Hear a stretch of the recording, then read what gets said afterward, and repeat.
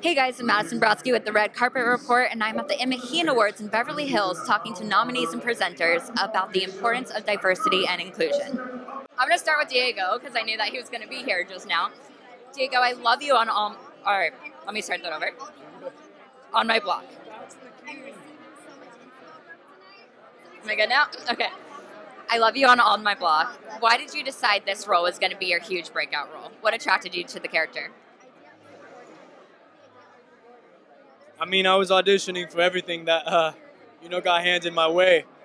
I was a fresh faced kid. I was 18 years old. I moved out to Los Angeles, and uh, this audition came along, and I looked up the writers, the creators, and, and I saw their work, and I saw that it was very unique. So off the bat, I knew it was going to be something good. Uh, I read the sides. The sides were amazing, and the first uh, few scripts, and I had a suspicion that, you know, we were onto gold. Uh, I've been blessed with this opportunity, and honestly, I couldn't have asked for a better first role. Uh, so yeah, it's been a nice, nice ride. I think the show's really cool because it explores so many different issues that are like real life issues. It's not just like, okay, here's just a random situation that we're going to throw you guys in. What's one that really stood out to you and that meant a lot that you got to explore and tell?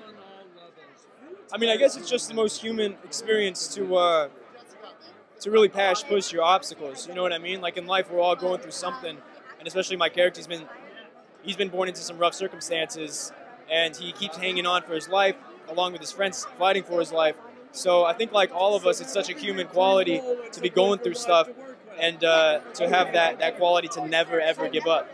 Um, and I think we're going to see that in season three, which is coming very soon. We start shooting tomorrow. Are you excited? Very excited. What's the group chat like right now? Ah man, What's the group chat like right now? our, our group chat. Well, our group chat is, hey, Uh, let's link up at Julio's house and we'll all rehearse. How's everyone feeling from karaoke last night? Is Yeah. actually what's on the group chat right now. Okay, so we had a cast karaoke session last night. Who's the best singer? Who's the worst? Brett Gray's the best singer, and I'm the worst singer. You're the Not I'm the worst singer. Not but I give it heart. You know, I He give. has the most heart into it. I, I put the heart into it. yeah. What's your go-to song? Uh, Badfish by Sublime. I need to hear a line. Uh, when you grab a hold of me, promise that I'll never be set free. You're not that bad. All right. All right. All right. Before I let you go, tease season three for me. What can we expect? Uh, a lot of funny. I mean, the show's always been funny, but for some reason, third season they just kind of brought it back full circle, and it's uh, yeah, I laughed out loud a couple of times reading the script. I, I definitely think that they brought back that humor and that joy that we had in first season. Uh, you know, season two was also very funny, but it also tackled some very serious issues such as homelessness, uh, abandonment, uh, you know, not knowing who your mother is. Uh, so it was a little bit more, more. Uh, let's just say a lot of people ended up the ended every episode crying a lot.